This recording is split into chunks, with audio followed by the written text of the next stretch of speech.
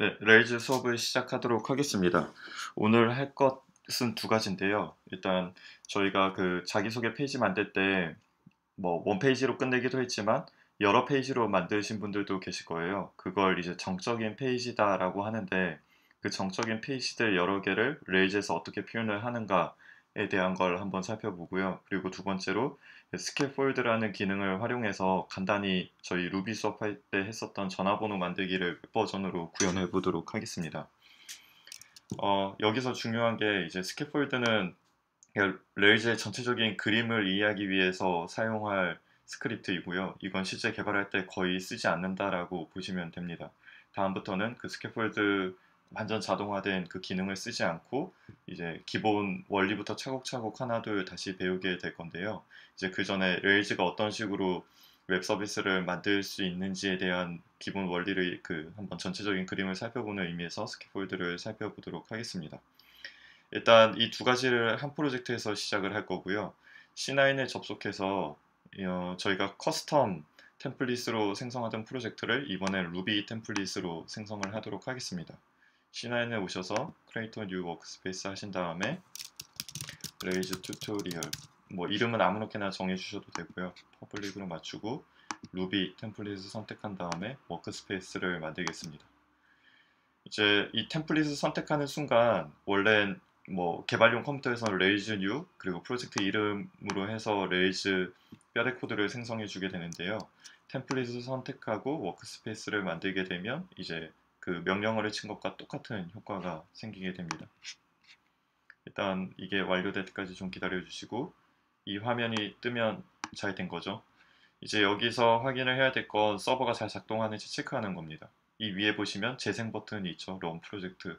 이거 한 번만 눌러주시고 얘는 처음 프로젝트 생성됐을 때 한 번만 눌러주신다고 생각하시면 돼요. 그리고 서버를 끌 때는 이제 미리 보기를 끌 때는 스탑을 눌러주시면 됩니다. 여기 대괄호로 표현된 이 시간표 찍힌 이것까지 세 개가 다 뜨면 켜진 거고요. 위에 올려보시면 이 미리 보기 할 수 있는 주소가 있습니다. 이건 여러분들 친구들에게 줘도 똑같이 확인할 수 있는 링크고요. 새 탭을 띄운 다음에 이 주소를 command C나 control C로 복사해서 그대로 붙여넣은 다음 확인을 해보겠습니다. Welcome aboard 하면 Rails 프로젝트가 제대로 세팅됐다 하는 거를 의미하게 됩니다.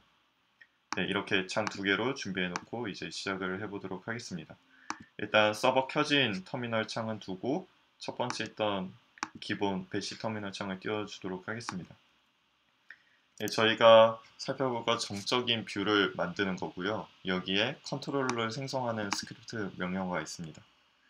어, 일단 저기에 나온 대로 rails g controller 그리고 홈이라는 컨트롤러를 생성해 보도록 하겠습니다.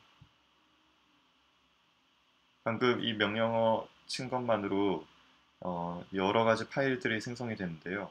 앱 폴더의 controllers 폴더에 홈 컨트롤러 파일이 하나 생겼고 그리고 앱의 view에 홈이라는 디렉토리가 하나 생겼습니다. 그 다음에 뭐 테스트와 helper, asset 이런 것들은 아직은 잘 모르셔도 되고요. 한번 만들어진 파일들을 살펴보도록 하겠습니다. 앱에 있는 폴더를 클릭하고 컨트롤러 폴더 클릭하면 홈 컨트롤러 rb라는 게 만들어졌습니다. 그리고 view 폴더도 열어보시면 홈이라는 디렉토리가 하나 생겼고 폴더가 하나 생겼고 거기에 비어 있습니다. 그러면 이제 정적인 페이지를 하나 생성을 해줄 건데요. 일단 컨트롤러 파일을 여셔가지고 여기에 엔터 치고 def index라고 쳐줍니다. 여기에는 이거는 def라는 건 Ruby에서 함수를 만드는 것이고요. 전 지난 루비 수업 때 함수를 다루진 않았는데 일단 def와 end 이 코드 블럭 사이에 어, 어떤 이제 그 웹 서비스가 기능하는 그 동작하는 코드들을 넣는다고 보시면 됩니다. 인덱스라는 액션을 만들어 준 거고 여기 앞으로 내용들을 채울 건데 이렇게 엔터로 좀 비워두시면 되고요.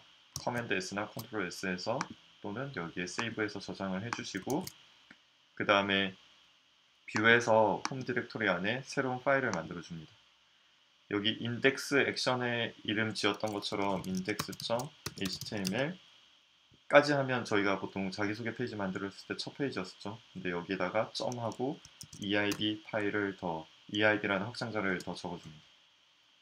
이렇게 하면 일단 그 컨트롤러의 액션을 하나 만들었고요. 그 다음에 view 파일을 만들었습니다. 여기 들어가 보시면 아무 내용이 없겠죠. 여기에 h1에서 hello world라는 그 HTML 코드를 작성해 주도록 하겠습니다. 저장하시고 그 다음에 이제 첫 번째 과정은 홈 컨트롤러에 인덱스 액션을 만들어줬고 두 번째 과정은 view 폴더에 홈 폴더에 컨트롤 이름과 같은 홈 폴더에 인덱스라는 액션과 같은 html.erb 파일을 만들어줬습니다. 그 다음 마지막 세 번째는 config에서 route.rb 파일을 열어주는 겁니다. 여기에 지금 루비 주석으로 여러 가지 설명이 있는데요. do 하신 다음에 여기 그대로 엔터를 쳐주시고 음, 저 노트에 보면 get이 뭐다 post가 뭐다 자세한 내용이 있을 텐데요. 일단 그거 한번 참고해 보시고 get 방식의 slash라는 주소로 오는 애는 홈 컨트롤러의 인덱스 액션으로 이어준다 라고 명시를 해주겠습니다. 이 뜻은 이 slash 혼자 있으면은 도메인하고 그냥 뭐 네이버 닷컴이라고 친 그 상태고요. 네이버 닷컴이라고 친 이 주소 상태입니다. 지금 우리의 도메인은 여기 Rails tutorial cycyd.c9.io 여기에 slash 붙인 거랑 똑같은 상태인 거고요. slash 붙인 거랑 똑같은 상태입니다. 네이버도 마찬가지로 뒤에 slash 붙으면 그냥 똑같이 네이버가 뜨죠. 그 주소 규칙 slash만 붙인 상태를 홈의 인덱스로 이어 붙인다라는 걸 한 거고요. 실제로 어, 여기까지 저장을 했으면 workspace에 예, 홈에 띄워봤더니 아까 welcome aboard 대신 hello world라는 우리가 친 그 화면이 떴습니다. 그러면 이제 이 view 파일이 왜 HTML, HTML이 아니고 ERB가 붙느냐 하면 ERB는 Embedded Ruby의 약자고요. 어, 아까 view 파일을 그 view의 홈의 index.html ERB를 열어보시면 이건 단순히 HTML 문서가 아니라 이 속에 루비 코드를 쓸 수가 있습니다. 그러니까 정확히는 루비 코드를 먼저 해석해서 HTML 파일로 변환한 후에 우리 크롬 브라우저 화면에서 보여주는 건데요. 일단 여기에 꺽쇠하고 퍼센트 HTML은 꺽쇠 퍼센트가 없죠. 그는 해준 다음에 1 더하기 3 이렇게 적어보겠습니다. 일단 이 꺽쇠와 퍼센트와 꺽쇠 퍼센트 닫는 거는 마치 HTML 태그처럼 쓰는 거고요. 이 속은 루비로 해석을 하겠다라는 의미고 이퀄은 이 화면에 출력을 해주겠다. 정확히는 HTML 문서에 이 우측에 있는 루비 코드의 결과값을 이 문자 그대로 찍어주겠다라는 표현입니다.